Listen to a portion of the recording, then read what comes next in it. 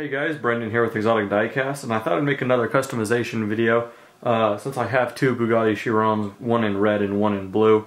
This red one I really like with the red and black accenting, and as you can tell it has these uh, chrome wheels, which I kind of liked uh, because it kind of matched the silver outline here. Uh, usually I just paint my wheels uh, black, I don't really like chrome, but I kind of liked on this one, but because I have two, uh, I'll keep the one on the blue Chiron, I'll keep those chrome and with this red and black accenting, it might look good to have gloss black wheels on this Chiron. So uh, anyway, I thought that's what we'll go ahead and do. And, and this being a Bburago, it should disassemble like the other ones I've done. So I just look on the bottom here, I see one screw here and then two here.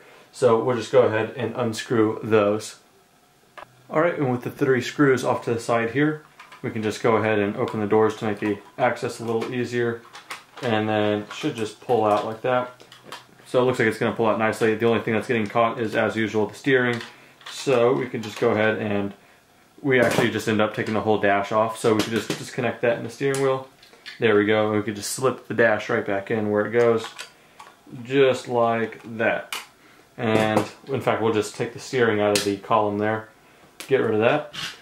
So, so far it looks like a normal Bburago model here. So uh, we'll just have to probably take off the full like engine and, and interior, which should just be held by a couple of pins. So we'll just go ahead and start prying off. There's the engine. And then the interior is just held by a couple of pins. There we go. Those two pins right here. And so just remember where that goes. So when we're assembling it, just the interior first, then the engine. So with that though, we could just put that off to the side uh, with the steering as well. And then the back wheel should just slip off just like that. Uh, just make note of which direction the brake calipers were pointing. In fact, I kind of forgot on this one, it kind of popped out. I'll just check on my blue one, but that way you just remember where to put the brake calipers, either facing forward or back. Uh, but I'll just double check with the blue one. And then obviously the front just lifts out the same. Remember that the hole for the steering column go on the left side or whatever yours is. Uh, and then also the brake calipers on this one were definitely pointing towards the center of the car. Now we can put all that to the side. Now we have our axles and this should be pretty easy. Obviously you can remember which ones uh, front and back. The thicker tires are the back and then obviously the ones with the steering are the front and they're also thinner. But if it's like all the Bburagos, then you could just take a screwdriver, put it in this hole right here where the axle would be and then you can uh, just grip the screwdriver to give you a little bit more leverage and just pull it off. And that was easy enough. I just kind of pulled off like this and there is one of our front tires. And just make sure that brake disc pops right back in so it can spin freely. Do it with the other side here. Alright, and with the wheels removed, obviously we just go ahead and remove the tire from the wheel. So we just go ahead and pry it out. That's cool that the full wheel is actually chrome on these as well. Uh, but anyway, and again, it's going to be easy to remember which one's the front and back uh, because just the different width of them. So very easy. Just put the tires away. We're done with those until we uh, need to put them back.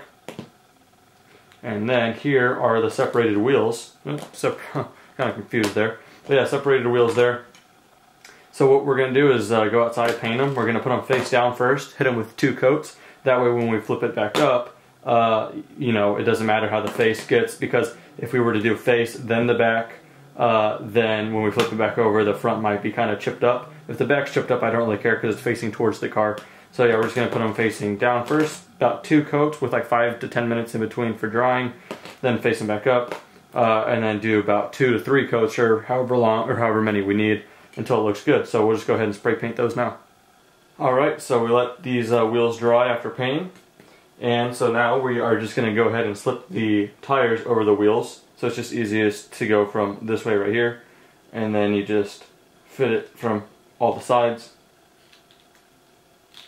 Alright, once we have all the tires back on the wheels, then we can just go ahead and get the back axle, the one that doesn't flex and steer, get the thicker tires and put them over it like this. And just like how we attached or uh, detached it, we're just going to go ahead and put the screwdriver here and then force it back down.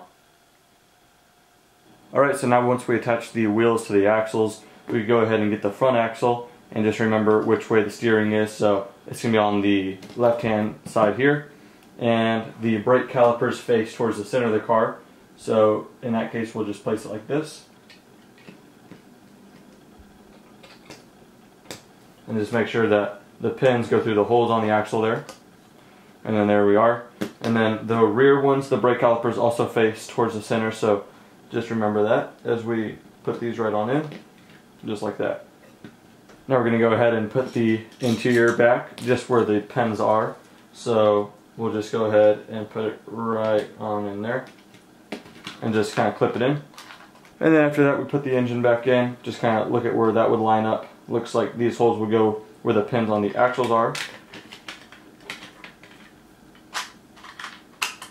Alright, so once the whole interior like this is assembled, we can go ahead and attach the steering. Uh, just make sure the bottom flat is down, and you just kind of put it through that pin there. And then there you go. So now the steering should work, just like that. And then now we're just going to go ahead and open the doors, make things a little bit easier. And then we're just going to go ahead and plop this down. Once you have it in place, just keep it upside down, just to keep it there. And then go ahead and drop your screws into place. And you can just start tightening down. Alright, so once all the screws are in, there it is. So just go ahead and make sure the steering's still working, everything's still good, and uh, there you go. Black wheels actually suit it pretty well. It's kind of nice to uh, see it all finished up. Everything still runs nicely. So that's very cool. Um, I like the red and black with the black wheels now. I was worried about how that would look, but let me know what you guys think. I kind of like it. And then we could go ahead and raise this rear wing. That's pretty cool. Yeah, anyway, that's about it. Thank you guys for watching. Have a great day.